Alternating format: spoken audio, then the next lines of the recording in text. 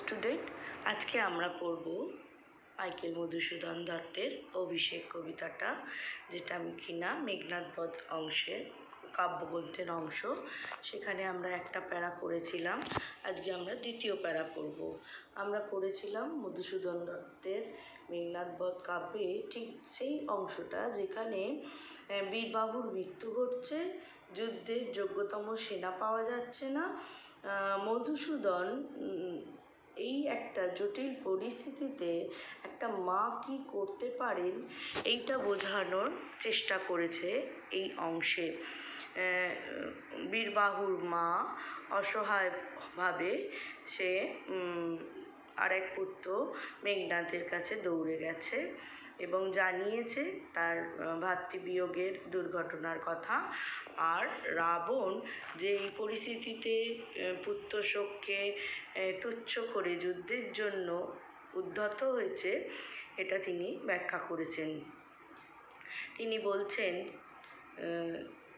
এই খবর পেয়ে মেঘনাথ বলছেন জিজ্ঞাসিলা মহাবাহু বিস্ময় মানিয়া মানে মহাবাহু অর্থাৎ মেঘনাথকে বিশেষণ দেওয়া হচ্ছে মহাবাহু অর্থাৎ মহাবীর।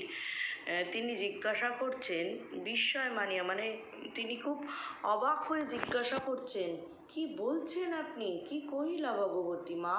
তুমি কি বলছো? কে বধিল? কবে পিয়ানো যে? আমার প্রিয় ভাই তাকে কে বধ করিল? নিশারণে সংহারিনু আমি রঘুবরে। বলছে রাতের যে যুদ্ধ, তাতে আমি রামচন্দ্রকে বধ করেছি। খণ্ড খণ্ড করিয়া কাটিনু বরশি প্রচণ্ড স্বর বৈরী দলে।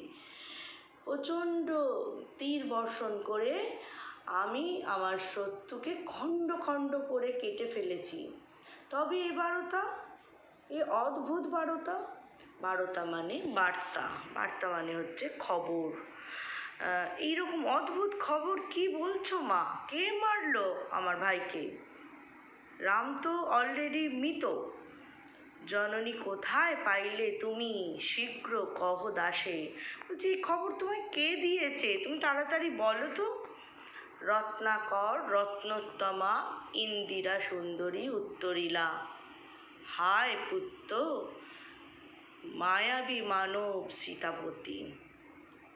রত্নাকর, রত্নোত্তমা, ইন্দিরা সুন্দরী, এগুলি সবই বিভীষণের মা, তার বিশেষণ দেওয়া হচ্ছে। তিনি খুব সুন্দরী ছিলেন, তিনি রত্নসম এই রকম তিনি উত্তর দিচ্ছেন, হায় পুত্র, মায়াবী মানব সীতাপতি।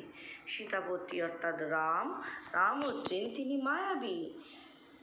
তব স্বরে মরিয়া বাঁচিল, যাও, তুমি তরা করি রক্ষ রক্ষ কুল বলছে, তোমার স্বরে মরে আবার বেঁচে উঠেছে।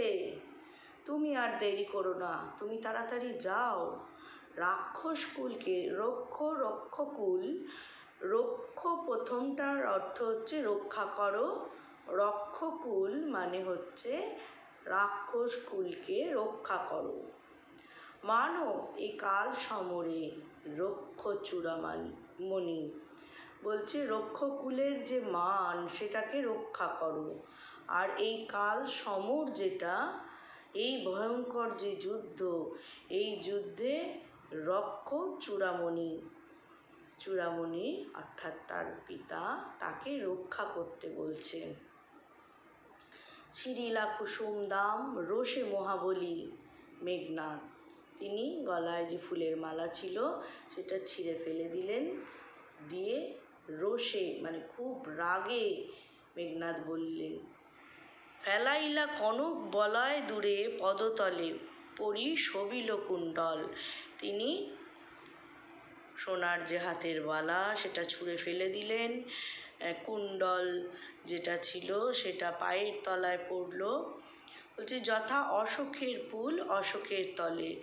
অশোক গাছের তলায় যেমন অশোক ফুলগুলো ছড়িয়ে পড়ে থাকে, সেই রকম সব তার গায়ের ভূষণ সেগুলো ফেলে দিচ্ছেন ছুঁড়ে ছুঁড়ে। ধিক মোড়ে কহিলা গম্ভীরে, কুমার, হায় ধিক মোড়ে তিনি এবার নিজেকে বারবার ধিৎকার জানাচ্ছে। বৈরী দল বেড়ে স্বর্ণলঙ্কা, হেতা আমি বামা দল মাঝে। তিনি নিজেকে খুব তিরস্কার করছেন, বলছে, আমার সোনার লঙ্কায় শত্রুরা এসে হানা করেছে, আর আমি কিনা এখানে মেয়েদের মাঝখানে? বামা অর্থাৎ মহিলা। এই কি সাজে আমারে? এটা কি আমায় মানায়? দশাননাত্মজ আমি ইন্দ্রজিৎ। বলছে, দশানন রাবণের আমি আত্মজ, আমি ইন্দ্রজিৎ। আনো রথ তড়া করি, তাড়াতাড়ি রথ আনো, ঘুচাবো এ অপবাদ বদি রিপুকুলে এই পর্যন্ত আমরা পড়ব আর আমরা অডিও রেকর্ডিং করে পাঠাবো।